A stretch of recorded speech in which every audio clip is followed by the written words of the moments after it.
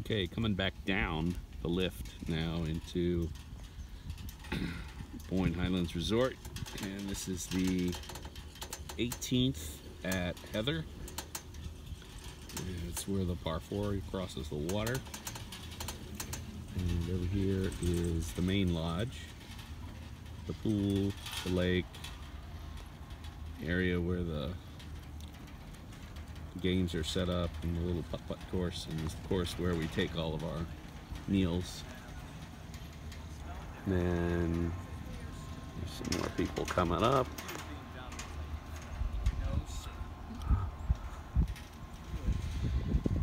And they actually have a, uh-oh, starting to get a, a shower.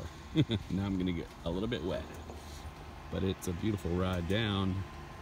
This is the little nine hole executive course that's up the, the mountain.